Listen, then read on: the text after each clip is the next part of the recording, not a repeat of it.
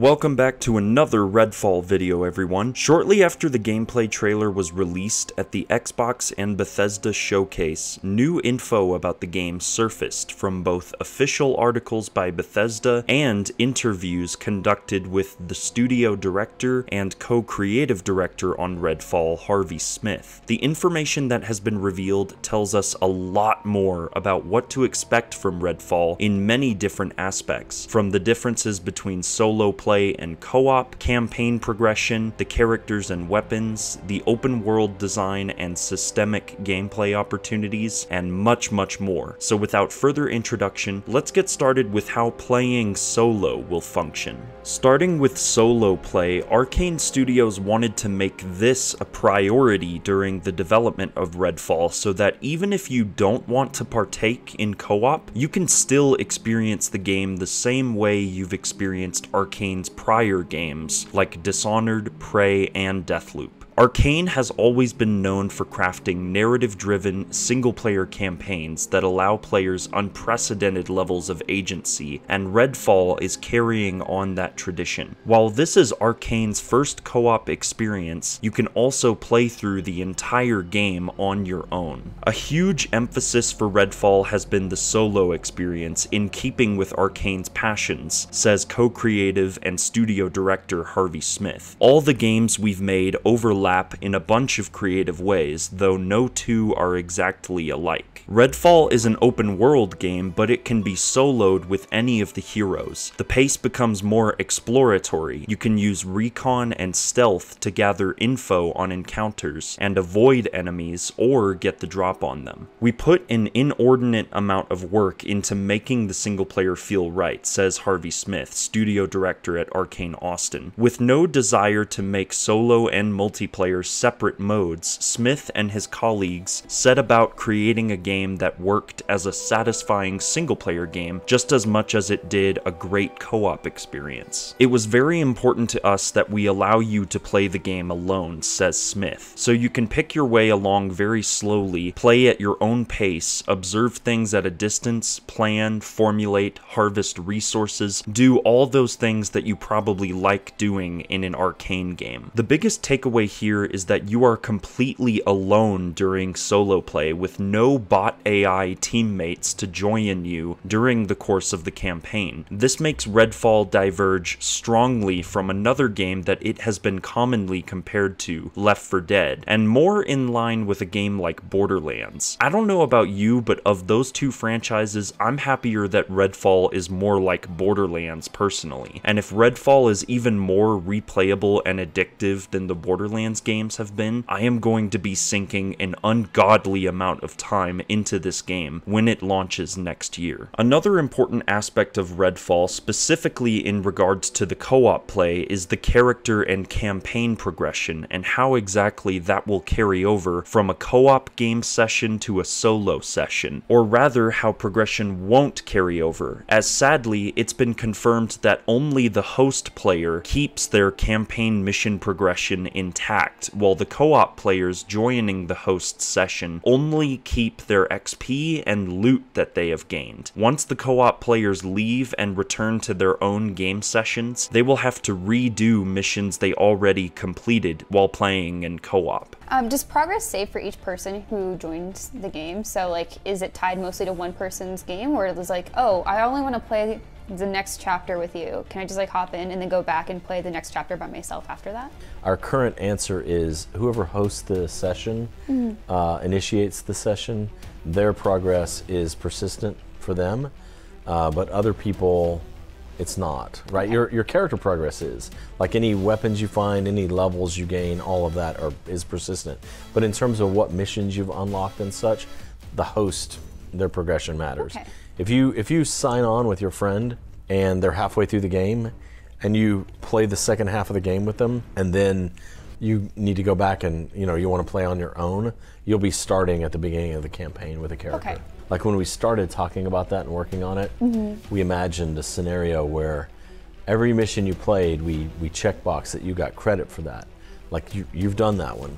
But then you end up with this weird problem where like, okay, but I'm going to start I've been playing with you, but now I'm going to play on my own. Mm -hmm. So I start playing through the campaign, but then I start hitting missions that I've already done. Mm-hmm. So I've been so for the flow of things, you want to have to redo those. Right. Yeah, The story would be very confusing if if you got to a, a mission eight and it said skip this one because you've already done it or whatever, right? So Mm-hmm. we just decided to like, you know, your hero and your gear and your experience points. That stuff is always persistent, but your mission flow is persistent if you're the host. Harvey's explanation here actually makes a lot of sense if you think about it. Redfall is ultimately going to be a narrative driven game, much like Arkane's previous work, so the story will be a huge focus once we actually get our hands on the game. Understandably, though, people have not been happy about this decision, and the displeasure has been voiced across social media in one form or another. I see where everyone is coming from when they want to have their progression from the campaign carry over from co op. Harvey even said that they tried to make this system work behind the scenes, where if you complete a mission in co op and go back to your solo game, that mission is already registered as finished in the mission log. The story is so important, though, to an Arkane Studios game that they made the decision to limit the campaign progression to the host player in order to avoid any confusion or misunderstanding of the events of Redfall's narrative, and I do agree with this decision by and large. Besides, this gives us an excuse as players to experience the game with all four characters and their different abilities, which lends itself nicely to replay value, in my opinion. In relation to the co op play, if you choose to play solo, you'll be missing out on the dialogue interactions between the four characters, which will give the story and moment to moment gameplay of Redfall just a little bit more flavor. By ensuring that abilities are complementary rather than reliant on each other, it means there's no pressure for a group to have specific characters in their party. All four players can choose to play as Layla if they wanted to, confirms co creative director Ricardo Bare, although he notes that this means such a group would miss out on all the dynamic conversation that happens between a properly mixed party. This confirms that a party of four players, if they really wanted to, could play as the same character. You'd miss out on some of the dialogue and cool ability synergizing that happens with a diverse and strategically organized team, but Arkane is all about player freedom. So if you want to have four Laylas, Jacobs, Remi's, or Devinders taking on the vampires, you can absolutely do that. In the IGN Summer Games Fest interview, Harvey Smith also mentions that characters have a wide variety of skills to choose from, alongside three primary active abilities that you can use during gameplay. An even more interesting wrinkle that Harvey mentions here that I haven't seen anyone discuss is the fact that as of now, there is no skill respec system in place, which essentially means that the skills you choose during the game, you are locked into those choices you've made, and you will have to play through the game again to try a different path. Can we change characters after we started the game?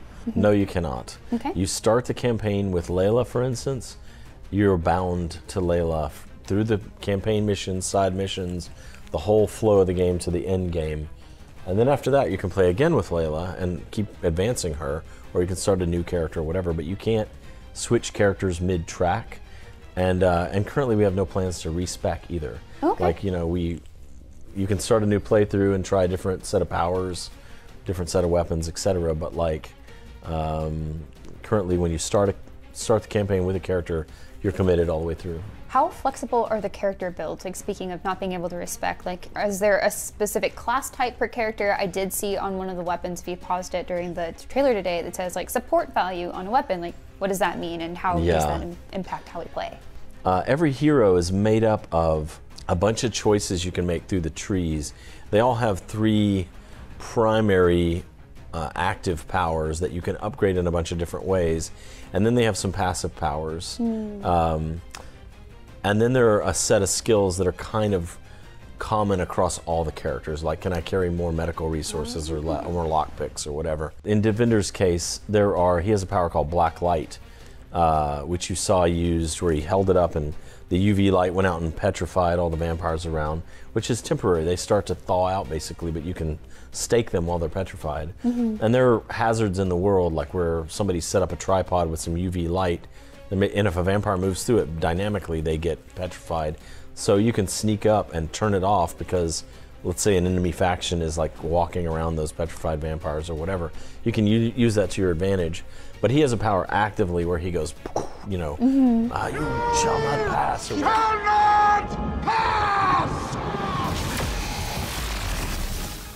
Uh, and you can upgrade that different ways bigger radius, longer effect, Okay. uh, etc. He explicitly mentions one of the active abilities for Devinder called Blacklight, which is the modified electrical stake that he slams into the ground in this shot in the gameplay trailer, and it petrifies all vampires within a certain nearby radius. That area of effect also seemingly can be upgraded and modified, which allows for this particular ability to be even more powerful and a perfect means of crowd control in a co op or solo game session. The idea of a no respec feature is one omission from the game that I actually disagree with. Sure, it hurts the replay value a bit if someone doesn't want to go back and play through the game again just to pick different skills and experience it differently, but I'd argue that giving us as players the ability to change our skill tree assignments how we see fit adds even more freedom to the experience, and Arkane is all about freedom. So all I will say if anyone at Arkane Austin is watching this, at least maybe reconsider putting the respec system into Redfall please. Redfall will also feature a large variety of standard modern firearms in addition to more over-the-top weaponry like the UV beam or the stake launcher. All of these weapons come in different rarities which will increase the weapon's base stats and add modifiers along the way. Our weapons are an interesting twist on the genre, says production director Ben Horn. We have loadout options players already know and love, like rare shotguns and sniper rifles all with randomized weapon traits to make each drop feel like one of an endless potential of combinations. In addition to that, some of our weapons are unique vampire hunting weapons, like the stake launcher or UV beam that can be used tactically to eliminate the vampire threat. One of these weapon modifiers you can find in the open world are objects known as remnants, which imbue the player's gear with very unique gameplay tweaks. Harvey Smith elaborates on this in the IGN Summer Games Fest interview. And then also the weapons you choose, because your weapons are leveled, so you need a, a, a higher level weapon. And then the weapons come with rarities, so they have all these different traits on them that affect gameplay. And then on top of that, you have a few other equipment items that affect gameplay. We have the concept of these things called remnants. Which are like objects the vampires were around uh, when, say, one of them becomes a vampire and like the world warps around them psychically. It will imbue something like the rabbit's foot on their keychain, or Okay. you know, uh, some object they're they're carrying can be a remnant now psychically charged, and you can find those and carry them, and they modify gameplay in some way. They're basically hmm. magic items. Okay, awesome. One of Redfall's most important components is the open world. Arkane Austin want to give the players more freedom to explore, while also not straying too far away from their signature level design that have made them an industry powerhouse. Funnily enough, during the course of development, the game was actually too open at one point in time. How open is the open world? I think that's always a question. So, like with Breath of the Wild, you could actually go anywhere. But with similar things, it's like, no, this is very heavy blocked. You cannot go past this part until you've done X, Y, Z. It's mostly very open. In fact, at first it was too open. It was kind of like there's not there was not enough blocking you or channeling you, but it's very very open. Rooftops and alleys and streets of this small town, Redfall, Massachusetts, which is like a you know fishing community, a tourist community, quaint historic New England stuff mm-hmm. With this stealthy, you know, takeover by vampires, right? But the one thing that we do in terms of that gating uh, pretty heavily is we divided the world into two districts.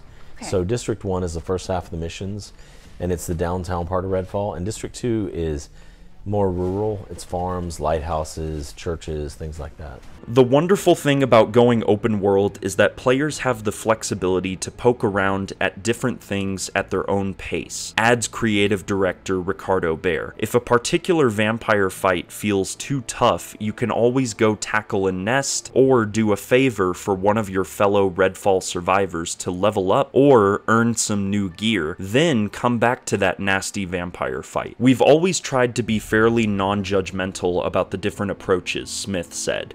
Missions that are very bespoke, with wide linear paths to a location, are obviously very strong, and that's what we did with the Dishonored games. A game where there's only really one big mission in one big space, like Prey, that's also a strong approach. The open world gives you new strengths, so we were excited about that risk. We're excited about the creative strengths that an open world offers. Arkane is striving to apply that same level of care and attention to detail to an open world as they have with any of their previous games, and based on what has been said by both Harvey Smith and Ricardo Bare, I believe we have very little to worry about in regards to how fleshed out this world will actually be. Stealth in Redfall will not be as crucial to success as it was in, say, the Dishonored series, but it will certainly give more cunning players an advantage over the opposition. Redfall is a game where stealth can be used to get the drop on an enemy, reach a good vantage, or avoid a combat encounter altogether, says Smith. It's not a pure stealth game, but a stealth enabling shooter. We love that because having AI with simulated hearing and sight always leads to interesting dynamic gameplay moments. Creeping up on enemies, avoiding notice, using the right weapons and damage types, choosing when to employ your crazy powers, knowing when to break off combat and stake a vampire that's been petrified by UV light, all of that is part of Redfall's tactically expressive gameplay. Stealth is important to this game, but this is not a stealth game, says Smith. Rather than Redfall demanding quiet surgical strikes against unaware targets, stealth is a tool to aid in the exploration of Arkane's first urban open world. A vital part of making this work is enemy AI. Legions of vampires won't inexplicably descend upon you just because you entered their patrol bubble. What works for us is hearing, sight, distance, view cones, and all that nerdy stuff that we love, says Smith. Because it means as I move my way, as I go across a parking lot, scale a little wall across the road, and make my way onto the roof of a building to rewire the antenna for this little side mission that I've got going on, I'm triangulating. Along the way, stealth is useful for that. It helps you avoid encounters so you can get to where you intend to go. While exploring the open world of Redfall, many activities and side quests will present themselves to you, allowing for even more gameplay experiences outside of strictly the main story. There's a whole wide open world to see in Redfall with new mysteries and threats in every nook and cranny. From cultist strongholds and twisted psychic spaces called nests, you'll find plenty of danger on the island of Redfall. It'll take a lot of work to make Redfall completely safe again, but as creative director Ricardo Bare explains, when not doing the main story missions, players can help Redfall by taking neighborhoods back from the vampires and the cultists who worship them. You can chip away a bit at a time, making parts of the world a little more comfortable for the citizens of Redfall, just trying to survive the vampire apocalypse. We deliberately chose community houses, Smith adds. The first one is a firehouse. A special mission allows you to liberate a community, making that area a little safer to navigate. Taking territories also brings ramifications, but Smith and Bare wouldn't reveal what they are. Another open world activity spoken about by the Arkane team are the vampire nests, which appear dynamically and buff nearby vampires within a certain radius. They can even appear during a main campaign mission as described by Ricardo Bare. Systems that are part of the open world can crash into campaign missions and interfere with them in a way that we haven't done in the past before, explains Bare. His example is a dynamic world event known as a vampire nest, which drops a psychic door into an area that supercharges all enemies in a radius around it. While this is an optional activity separate from the main campaign, the way it affects the world can impact your main mission objective. Harvey also elaborates on the vampire nests in his interview with IGN during the Summer Games Fest. Is the door shown in the trailer is a psychic nest? As you guessed, we have a feature called nests, which are kind of a shared psychic space where the vampires are basically sort of like tripping together on what we call the blood trance. Oh. And different rules exist inside the nest. The psychic space doesn't have to adhere to uh, normal, you know, architectural boundaries. Uh, that's why in the trailer you see them go into a movie theater, and instead of the screen, it transitions into this like wilderness-looking uh, environment or whatever. But yes, that's a nest. Okay. Are they replayable and are they required? You know, they're not required per se, uh, but when you get to the center of the nest, uh, and there's a heart there that has a, a powerful psychic remnant in it that is that you want basically, uh, and so they're replayable.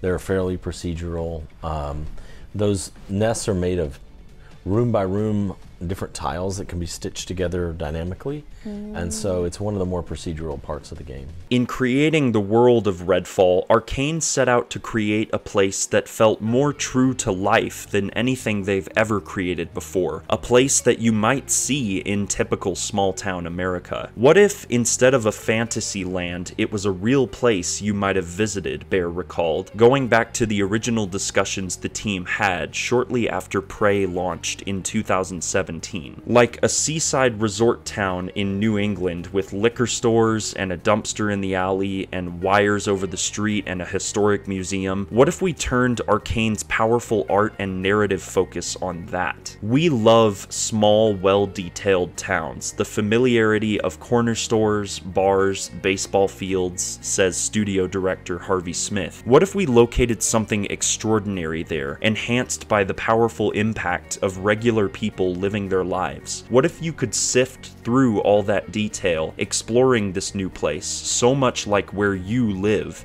and yet so different, and come to feel like the island of Redfall is a real place in Massachusetts. We like to shake it up, so each game carries most of the same core values, but also changes a few significant elements. Arkane has always been passionate about ensuring their settings aren't just backdrops. The world around you is constantly telling stories, and these stories can be enjoyed no matter how many people are playing the game, whether you want to explore at your own pace or share your journey with friends. The setting is narrative rich with lots of environmental storytelling, says Smith. You learn a lot about the lives of the people who live or lived there. Our lore is important as a part of how we get under the player's skin, searching an abandoned house with a flashlight, learning about what occurred there, looking for resources, avoiding dormant vampires. All of that is critical to the experience. The AI is very much cat and mouse with perceptions based on sight and sound awareness, and you can choose between single player and co op with up to four people, which gets more social and faster paced. Lastly, the lovely folks at Arkane Austin gave us some new info about their initial concepts and ideas about the titular vampires. Vampires are such a cool and fun monster to play with, says business director Susan Kath. Since vampires have existed for millennia in folklore worldwide, everyone has some idea of what a vampire is, and assumptions about what that means. Traditional vampires are the monsters inhabiting our childhood closets, the dark shadow sliding by on the path behind us at night, the evil we imagined lurking behind the windows of the abandoned mansion on the hill. The vampires of Redfall play into some of those assumptions, but by no means all, bringing a modern take on the folklore that is uniquely Arkane. Our vampires are not some aspirational fantasy, says Smith. They're predatory monsters who feed on the vulnerable to make themselves more powerful. The vampires of Redfall have pushed the water away from the island and blocked out the sun, turning the once peaceful town into their own personal playground. Created by science experiments gone horribly wrong, or horribly right if you're one of the vampires, and gifted with powerful psychic abilities, Redfall's vampires aren't like anything you've ever seen before. Interestingly, when asked by Tamoor Hussain and Lucy James of GameSpot for their own video interview about the game, Harvey Smith had this to say about the game's themes and what sort of message it's trying to send to the player. He gives a very insightful and thoughtful answer here. Uh, well, going back to the stuff about like the narrative, and you mentioned themes and um, maybe abuse of power and that kind of stuff. What is the theme for Redfall then? Yeah, so um, Ricardo Bare uh, worked with our narrative team internally. Uh, Evan Narcisse worked on the game. We have a group of people internally that work with Ricardo. Um, the writing was divided between all of them. Uh, but we knew up front that what we wanted was um, certain thematic elements, right? Like vampires are a metaphor, like monsters are a metaphor. And our vampires kind of represent like a tiny, tiny percentage of people, like the 0.01%, who have everything. And they have it by preying on everyone else and just draining the life out of everyone else as the world burns down around us, right? Um, and so that's kind of where we started. The, the people who they were already vampires. Um, you know, before before even becoming vampires, at some level they already lack humanity, lack empathy um, for the the people around them. They come in and they destroy communities. They hollow them out from the inside, um, and so there there are a lot of themes related to those things. There are a lot of themes related to community. Like we have this whole game system called Take Back Redfall, where you capture neighborhoods one at a time and make them safer by doing some uh, safe house missions, finding a safe house, doing some safe house missions, taking down an underboss who's kind of a bootlicker to the vampire gods, and securing that neighborhood. Um, and your missions are launched out of like bases that are effectively civic centers. Like the first one is a fire department, right? So somewhere down there, there's this concept of like people, neighbors, need to come together. We all live in this community. Um, let's band together, let's feed the hungry, let's let's help the vulnerable, and and let's fight back against these predators. And those themes are kind of like they're subtle, they're not it's not in your face, but that's I think that's what you know, it's really not for me to say. It's it's really when the game comes out for you to say actually. But like that's that's what I would take would like you to take away from it. And there you have it, folks. Some even more interesting nuggets of information that I was able to dig out from the Redfall interviews and articles released. But now I want to know what you think in the comments down below. Has any of the info I've shared made you more excited for Redfall? Are you unimpressed by what the team at Arkane Austin had to say? Let's start some positive and constructive discussion around Redfall. If you enjoyed this video, please be sure to leave a like on the video and share it around with other members of the Bethesda and Arkane community. It really helps out. Consider subscribing to the channel for more Redfall content like this, and be sure to hit that notification bell so you never miss a video. And remember that the outsider walks among us. Thanks for watching, everyone.